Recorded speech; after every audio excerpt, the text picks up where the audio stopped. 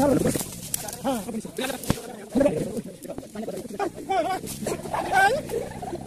है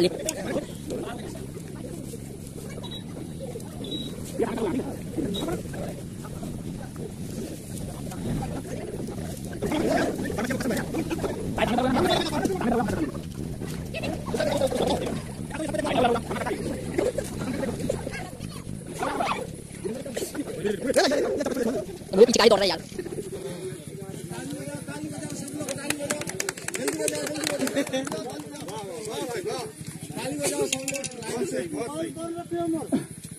इसे भारतीय अजगर बोलते हैं।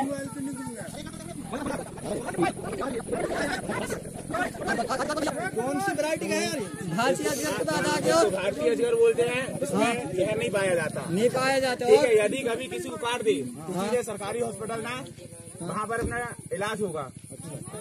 क्या कि काटने में जो ये सड़े सड़ा जो मांस खाते हैं तो उससे अपने हाथों में बैक्टीरिया हो सकता है या बीमारी फैल सकती है। ये जहाँ काटता है उधर सबसे बड़ा घाव हो जाता है इसके काटने से। हेलो? विष नहीं रहता? नहीं विष नहीं रहता।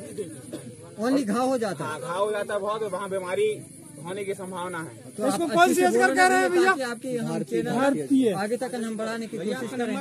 हाँ। और यदि कोई भी सांप काटे तो सबसे पहले सरकारी हॉस्पिटल ना कोई झाड़ फूक के चक्कर में न जाए। हाँ। कोई भी सांप काटता है। सबसे पहले सरकारी हॉस्पिटल जाने की कोशिश करें।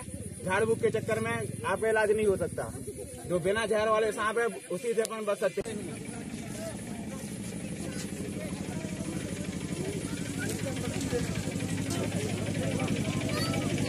आप देख सकते हैं इसके दांत। दांत भैया तो दूर रहता भैया हमारे सामने देखो इसके जो बारीक बारीक दांत है ना ये यदि काट लिया तो बहुत बड़ा घाव दे देगा और बैक्टीरिया अपने अंदर चले जाएँगे, जिससे अपन को बीमारी हो सकती है।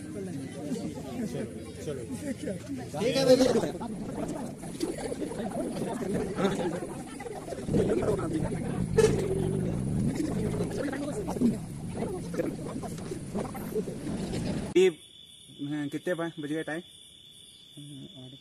आठ बज गए हैं। अब मैं इसे रिलीज़ कर रहा हूँ। मेरे साथ मेरे दोस्त प्रिंस भाई और निशांत अग्रवाल आए हैं साथ में। वहाँ के लोग मेरे साथ थे।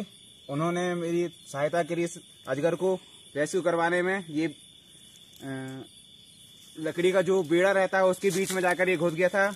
मुझे इसे निकालने में थोड़ी दिक्कत गई और मैंने इसे सुरक्षित रेस्क्यू कर इसे वन परिक्षेत्र में ले आया हूँ और मैं इसे आज़ाद कर रहा हूँ यहाँ जिससे अपना यहाँ जीवन सुरक्षित जी सकता है। आप देख सकते हैं। टाइसन जाता हुआ।